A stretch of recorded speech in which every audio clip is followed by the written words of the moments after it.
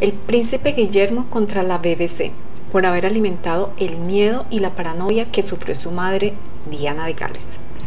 Sean todos muy bienvenidos a este su canal Farándula Hoy. Gracias por apoyarnos y quédate hasta el final para que te enteres de todos los detalles. Y si te gusta este canal, no lo esperes más. Suscríbete. El príncipe Guillermo condenó a la BBC por las mentiras de las que el periodista Martin Basher se valió para conseguir su famosa entrevista con la princesa Diana de Gales en 1995. Me provoca una, una, tristeza indescriptible saber que la BBC contribuyó de manera significativa al miedo, la paranoia y el aislamiento que recuerdo de esos últimos años con ella, dijo el príncipe Guillermo en un insólito video.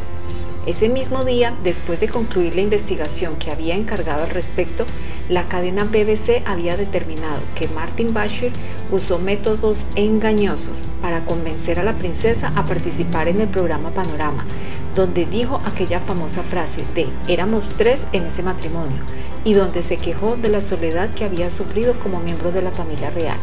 El príncipe Guillermo ha asegurado que esta entrevista contribuyó a empeorar a la relación de mis padres y que desde entonces ha hecho daño a muchas otras personas.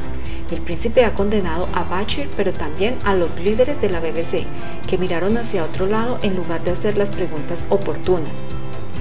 En un comunicado, el príncipe ha aprovechado además para dar las gracias al equipo de investigación encabezado por Lord Dyson, quien en su informe ayer terminó que la, determinó que la cadena BBC empleó documentos falsos para convencer a Diana y alimentó su paranoia con afirmaciones falsas sobre la familia real.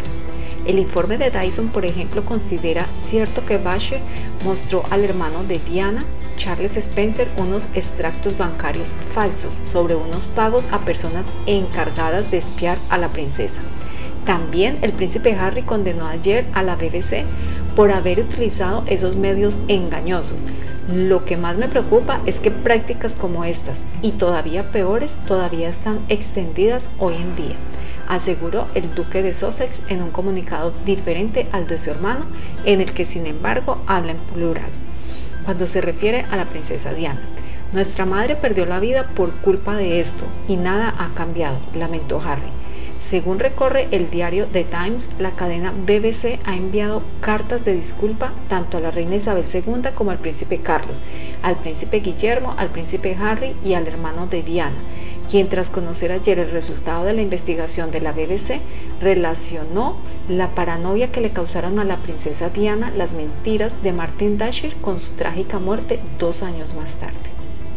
¿Y tú qué opinas?